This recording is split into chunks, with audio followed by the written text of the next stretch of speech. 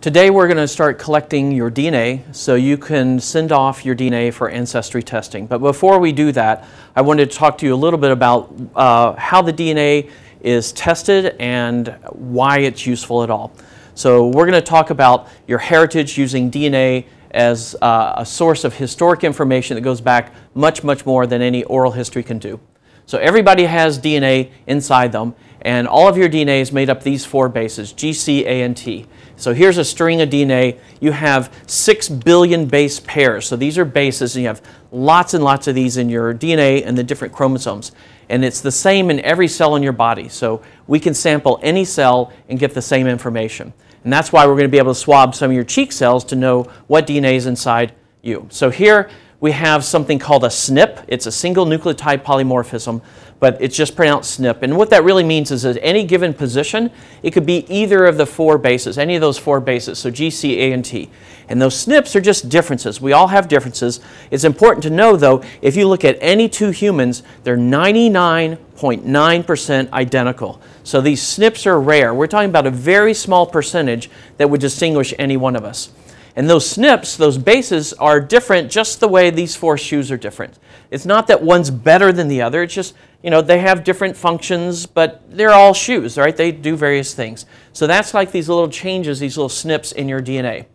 And so there's a particular gene that's of interest, and this one is called, it's not very easy to pronounce, SLC24A5. But we'll just call it uh, the gene that involve, that's, uh, participates in about 35% of the skin tone on people's uh, arms and, and the rest of their body. And what I want to point out is there are two variants uh, of SNPs in this particular gene that's shared to different degrees around the world. And you can see in the entire globe, it's almost a 50-50 split. But in different parts of the world, you have different kinds of differences. So let's look in, within Africa. You can see it's mostly the G SNP. The base G appears in most of these, but not all. Notice none of them is 100% just one particular base. Even this one, the Yorubans, it's 1% A, 99% G. So that's just one population in the world. If we look in the Americas, Colombia, Mexico, Peruvian, and Puerto Ricans, you can see we have quite a big difference. In fact, if you look at Colombia and Peru, um, they're almost mirror images. So countries fairly close to each other can have differences. And the single letter influences the uh, one part, uh, roughly one third of your skin tone. If we look in East Asia, this is uh, almost exclusively the G letter, just like we had in Africa. So in Asia and Africa, it's predominantly G, uh, but in the Americas, it was mostly A.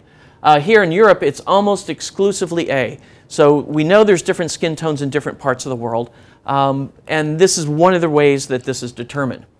And then the last area, South Asia, you can see it's quite varied in the different parts of the world. Now this is just one gene and one letter and one gene, and it determines a lot of skin tone. But we, do we really think that this single letter out of six billion base pairs, that single letter has any major impact on you, your intellect, your, um, you know, I don't know, various personality traits, your curiosity, your physical stature. No, it's, this is just one little nucleotide that influences a part of your skin tone. So I love this picture because in reality, if you were to walk from southern Africa up through Scandinavia, you would see a gradual change of skin tones, but you would never say, oh, I've gone from one race to the other. It's a continuum. And that's what you need to keep in mind that uh, race is not determined by your DNA. Some of the uh, characteristics used to determine race by people is determined by your DNA, but race is not. And so, what one person might call a black person, someone else might say they're European or they're Asian. So, we need to be very careful about how we label those racial terms. So this is just one gene, and this is an example. So imagine a boy has a father who's from Kenya, very dark skinned, and has a mother from Kansas, and she's very light skinned. Do we consider that person black, or do we consider that person white? Well, that's Barack Obama's parents, and he's considered by most people to be black. And yet, if this were truly a DNA trait to call someone their race, you couldn't call them black or white. They'd be 50 50, right? So we know that DNA doesn't determine race, that we just decide collectively or individually what someone's race is. Now, in 2005, uh, some scientists made a determination and they were wrong. They've changed this ruling, but for a while, they had the first heart medication, first drug ever that was approved for a particular race. And so this was for the treatment of heart failure in self identified black patients. So would he get this drug or not? Right? So this was a mistake, a bad use of science. Scientists can be influenced by social pressures as well, but this is not a good use of DNA evidence, right? This is a way to look at your ancestry, where some of your far back relatives have come from. But my, here's my analogy for why this kind of drug treatment doesn't make any sense, right? This for self identified black patients. Imagine you have a sick dog and you have to take, oh, if your dog has white fur, it gets this medicine. But if your dog has black fur, oh, we're going to give a completely different medicine. That makes no sense whatsoever. So essentially, that's what the FDA did temporarily with this uh, bad decision they made. Now, there is a, uh, biologists have known this for, and uh, I talked to a, an older geneticist recently. He said back in 1975, they realized this was the case.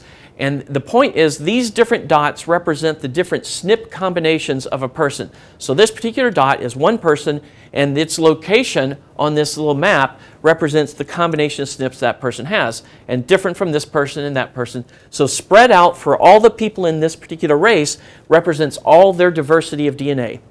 And there's more diversity within this one race than there is between the different races. And that's what is very difficult for people to understand. But let's see if we can draw this out. So here's the diversity in one race, then here's the diversity in a different race, and here's the diversity in a third race.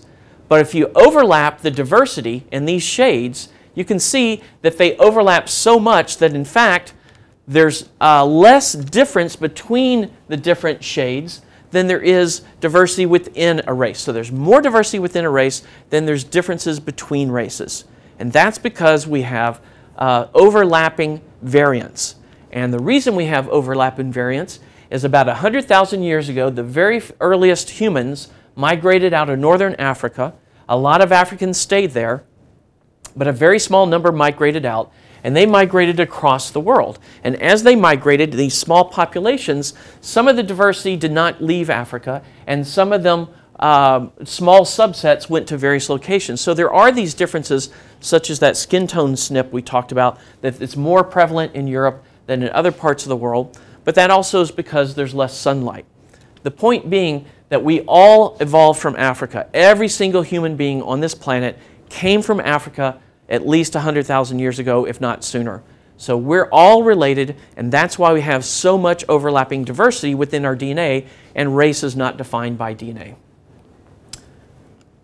So there was a study um, back in 2008 where they looked at different populations around the world and they tried to find what are those SNPs that distinguish different populations. So these are populations from all over the world, and you can see that all these different uh, regions of the world have overlapping colors. And that's because, again, we're related. We evolved and had a continuum of migration. The only area that's really has some uh, unique SNPs is Africa, because remember that large population stayed in Africa the whole time, so they have more diversity than the rest of the planet combined. But all these other regions, these are not races, these are regions, have some SNPs that allow you to say, oh, your DNA came from this region, but because of these mixed colors, we can't be certain with a lot of precision, just general areas. So we're going to use Family Tree DNA for a number of reasons. One, this is the only company that does not sell your DNA information. And two, they don't come up with single countries of your ancestry. Any company that says, oh, you're from Mali, they're overinterpreting the data. The data is not precise enough. As you saw, there's blending colors, and people continue to migrate in the area. So you can't get down to country regions, country specificity, but you can get regions. And so Family Tree has 22 different regions of the world, and you'll be identified what percentage of your DNA is similar to people currently living in those regions. And that's what they're going to be able to do. So they don't sell your DNA, and they leave it at the level of regions rather than countries. So today we're going to collect your DNA. You're going to swab the inside of your cheek on the right side for 30 seconds, the inside of your left cheek for 30 seconds. You put in these little vials, snap off the tops, put the caps on, and send it off. And then about four to six weeks later, you'll get your results, and we'll have another presentation to help you interpret those results.